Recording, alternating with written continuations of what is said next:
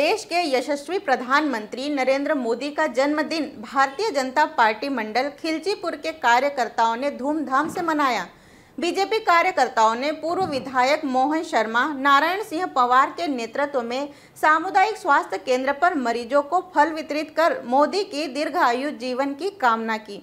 इस मोदी सरकार द्वारा लागू की गई जनहितकारी योजनाओं पर प्रकाश डालते हुए कहा कि मोदी जी ने भारत का नाम विश्व में रोशन किया है।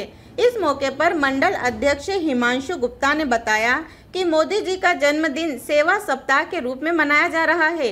20 सितंबर को खिलचीपुर में रक्तदान शिविर आयोजित किया जा रहा है, जिसमें मोदी जी के प्रशंसक रक्तदान करेंगे। राजगढ़ से ओम प्रकाश गुप्ता की रिपोर्ट।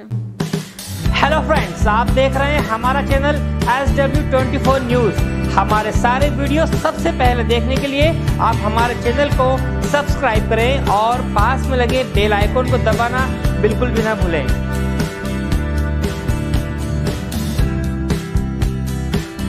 मध्य प्रदेश